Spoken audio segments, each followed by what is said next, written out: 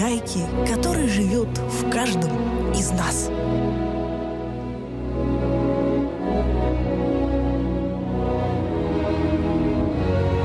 Старинный деревянный штурвал, соленый морской ветер и белоснежный парус над головой.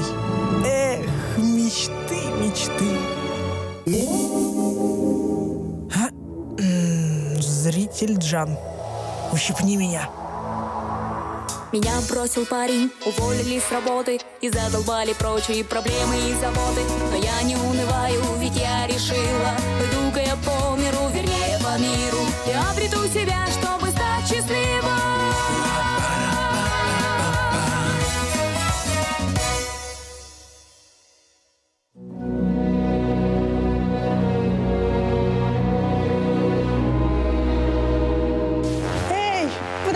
пожалуйста, подождите.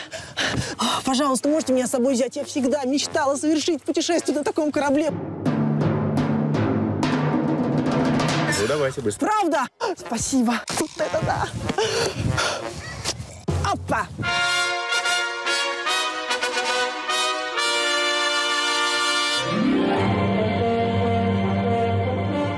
Господи, что это? Я не верю. Неужели это происходит со мной? Неужели это все правда? Задрать люки. Поднять паруса. Полный вперед!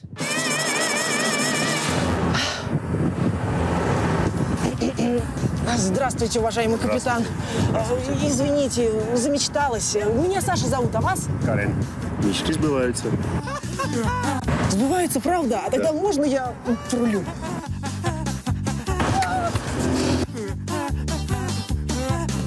А как, как рулить-то? Ну, это тяжело. Значит, для того, чтобы вправо повернуть, надо толкнуть. Для того, чтобы налево, надо потянуть себя. Попробуйте.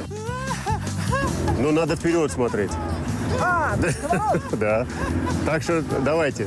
От себя, румпель от себя и От себя. пошли. Да, от Значит, себя. Но это тяжело. Итак, От себя. полный вперед! Ну, Уверена, что он да, давайте попробуем вместе. Вот, сейчас пойдем. Да, в моих мечтах все было намного проще. Зато в реальности куда круче. Так скажите мне, откуда этот чудесный корабль? А мы его сами и построили. Сами? Подождите, как? Это же явно средневековый корабль. Его должны были строить какие-то конструкторы, которые занимаются этим историки. В средние века конструкторы были по наитию. Вот мы собрались и построили. Ну, строили, правда, долговато, 11 лет.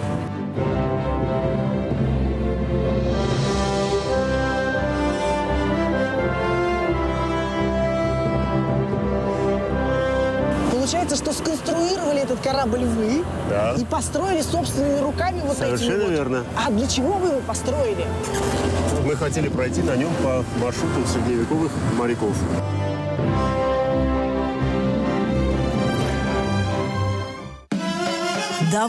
Давным-давно в некотором царстве, в средневековом армянском государстве жили-были Каренджан, Ашотджан, Рубик-Джан, Тигран-Джан, Фрутик-Джан, Саркис-Джан. Ахам, ну и другие. Решили они построить корабль всем кораблям корабль и совершить на нем странствие для развития, между прочим, международной торговли.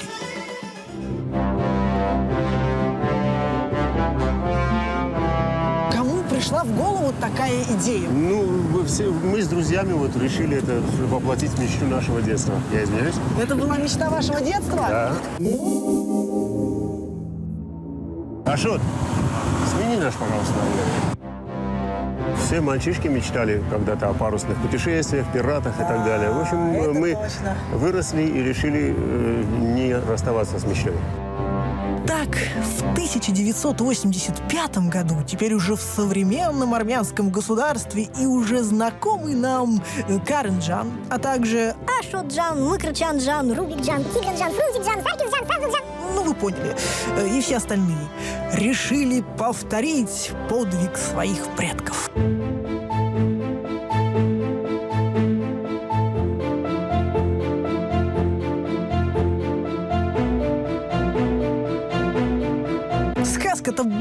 Быстро сказалось, а вот дело не скоро сделалось.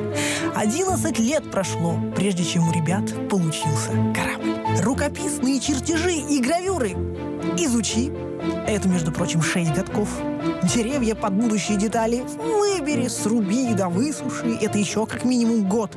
И еще пару годочков повырезай, да повыпиливай каркас, да палубу, да мачту. Кстати, и не забудь это все пропитать сначала смолой, а потом подсолнечным маслом.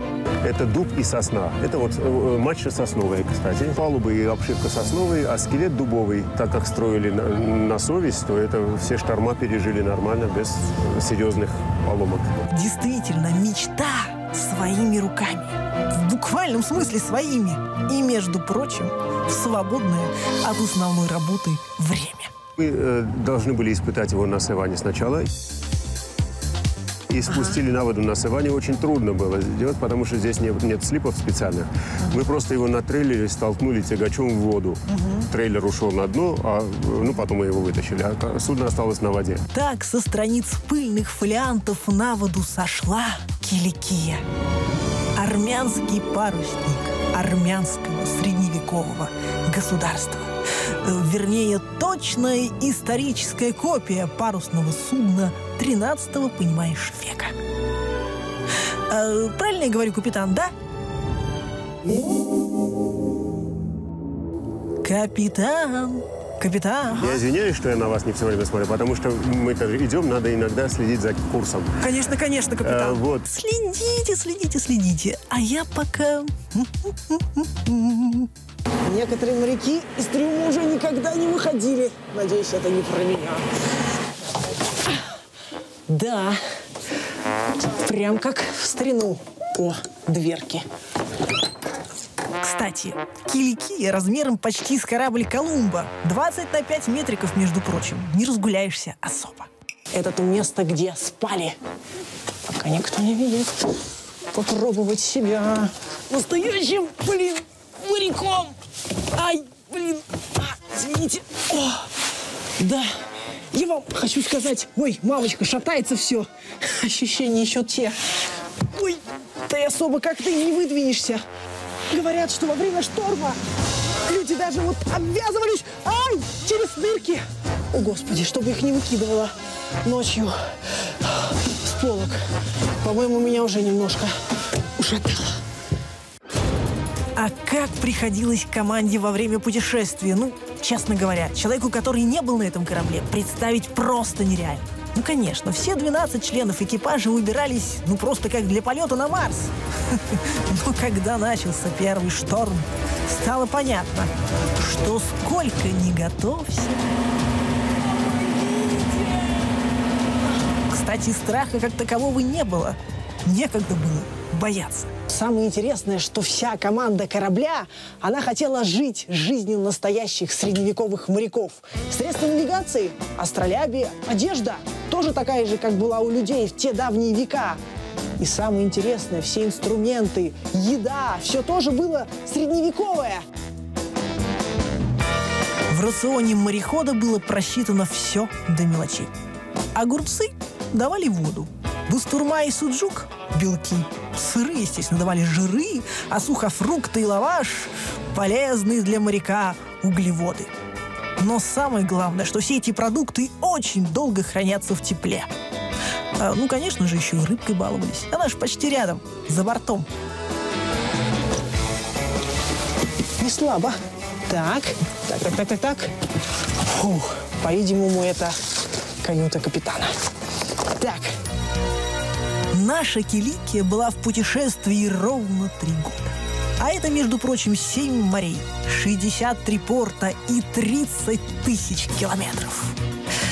Окольцевав таким образом всю Европу, ребята вернулись в родное Армянское море. Озеро Сиван. А, Вон темная гора, что спускается к воде, слева. Вот это мыс один, второго мыса сейчас не видно. Это граница между больш- малым и большим саваном. Мы сейчас в малом саване. После этого мыса начинается большой саван. Мы плывем на Чаячьи острова. На Чайчьи острова? Да. То есть это острова, где водятся чайки? Да, они гнездятся, э, рождаются и умирают там. Карен, Карен, Карен, не зря ты мне показал это место. Знакомая картина. Ведь большинство из нас ведь именно так и живут. Стабильно, комфортно, предсказуемо, на одном месте. Но также из века в век будут рождаться единицы, которые, вопреки всем канонам здравого смысла и мнению окружающих, покинут родные берега. Они будут следовать своему внутреннему компасу и рискнут всем ради своей призрачной цели.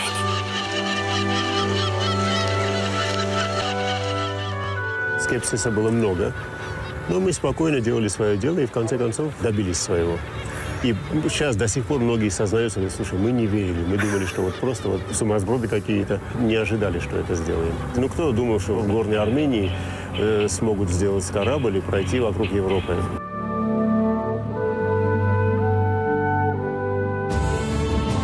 В каждом порту их встречали и провожали с цветами в руках. Прикоснуться к осуществленной мечте приводили любимых, детей, родителей, инвалидов на колясках. Всех, кому хотелось показать, что вот, невозможное возможно. Не сдавайтесь, если у вас есть мечта, обязательно сбудется. Главное, очень хотеть. Странствующий киликийский парусник напомнил людям, что самая главная валюта в мире не евро-доллар и не нефть и золото, а просто человеческие отношения. Все-таки старина Ричард Бах был абсолютно прав. Если ты никогда не предашь свою мечту, то она обязательно сбудется. Мы вправе лететь, куда хотим, и быть такими, какими мы созданы.